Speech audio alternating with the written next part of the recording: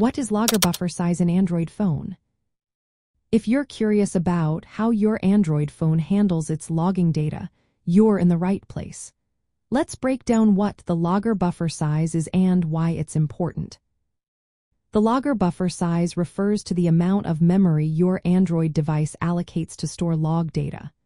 Logs are essentially records of what your device is doing and any errors that might occur. This log data is crucial for troubleshooting, performance monitoring, and optimizing your device. Imagine your device as a busy office where lots of tasks are being performed.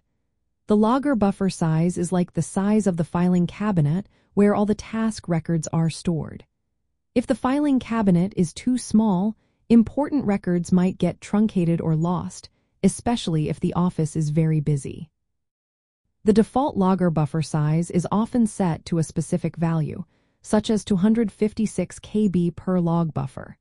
This means your device can store up to 256 KB of log data at any given time. However, this size can be adjusted based on your needs. For instance, if you're a developer or someone who likes to fine-tune your device's performance, you might want to adjust the logger buffer size. A larger buffer size allows for more detailed logs, which is great for diagnosing issues but can consume more memory and potentially slow down your device. On the other hand, a smaller buffer size conserves memory but might not capture all the log data you need.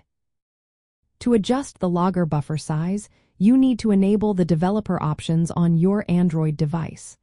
Once enabled, you can find the logger buffer size setting within these options. Here, you can choose from various buffer sizes to match your specific requirements.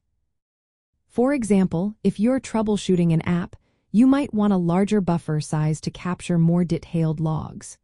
However, if you're looking to optimize performance and conserve memory, a smaller buffer size might be more suitable. It's also important to note that adjusting the logger buffer size involves a trade-off. A larger buffer size can help in detailed logging but may impact your device's performance. Conversely, a smaller buffer size can improve performance but might limit the amount of log data you can collect.